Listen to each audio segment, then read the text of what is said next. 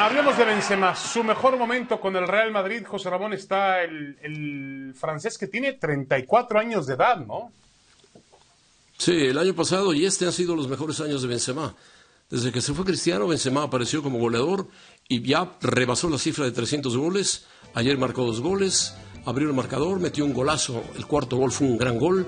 Y Vinicius Junior marcó los otros dos, ganándole al Valencia, que es un equipo fuerte, cuatro goles a uno. Y gran gol, gran gol de Benzema, el segundo. Muy Excelente. bueno. Qué jugador, ¿no? Tiene, Y tiene el área. Demuestra que es un jugador con, una, con un estilo especial, es fino, No, no, es no, inteligente, sabe jugar el área como pocos, se sale del área, entra al Tiene área. dibujada la portería en la cabeza, es increíble. Y además, yo creo que él está en un muy buen momento anímico. También regresó con la selección francesa.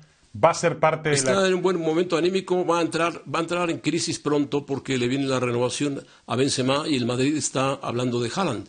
Sí, Entonces Benzema lo que quiere es una renovación urgente Pero, con el Real pero yo creo que, que Florentino, conociendo como la relación entre Florentino y Benzema, que es muy buena, Florentino tiene en gran estima a Benzema, yo creo que le va a dar un contrato, el, el último contrato de su carrera se lo va a dar, el último contrato importante a nivel competitivo se lo va a dar a Benzema, que te puede jugar todavía muy Sí, bien mínimo- tres años más, José Rabón. Mínimo le puede, le puede dar dos años de contrato Dos, a Benzema. tres años, ¿no? Tranquilamente, tranquilamente. No, tres es mucho. Tra- tra- dos años. Puede ser. Dos años de contrato a Benzema en el Que va a Madrid. ser- Después de los 30 años, es histórico. Va a ser una de las grandes, grandes figuras también del Mundial de Qatar, seguramente. Uno de los hombres más llamativos. Seguramente para la selección francesa de la será- cancha de fútbol. Por fin se dio cuenta Francia que tenía un gran jugador en Benzema. Sí, bueno, Por tenía, tenía un problema grave, José Ramón, que, que finalmente se está resolviendo, ¿no?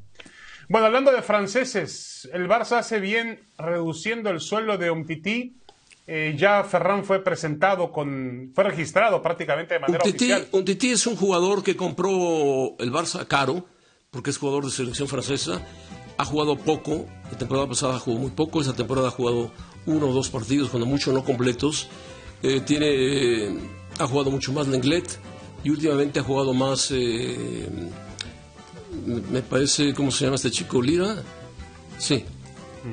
Y bueno, eh, me- habló con un tití y le dijo, te voy a renovar hasta el 2026, pero te tienes que rebajar en 10% tu sueldo para darle entrada y registrar a Ferran Torres, que es un extremo derecho muy bueno de 22 años, 21 años, que viene del Manchester City, y así le da entrada a Ferran Torres sin tocar la masa salarial.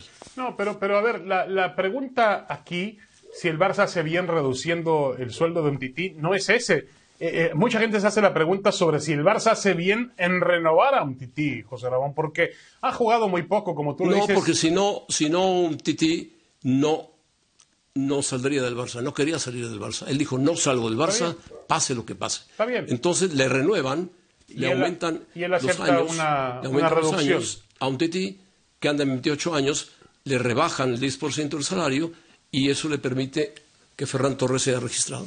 Ahora, el, el francés tiene que terminar por rendirle más al Barcelona. El Barcelona necesita mucha Tiene mayor, titular, mucha mayor regularidad, mucha mayor presencia, mucho mayor protagonismo del francés, que es un jugador que llegó aparentemente al Olympique de Lyon con todas las, las eh, los reflectores para ser una estrella en el club de fútbol Barcelona. Y además José Ramón ya de plano pues provocar la jubilación de Gerard Piqué, que no debe estar muy tarde, ¿no?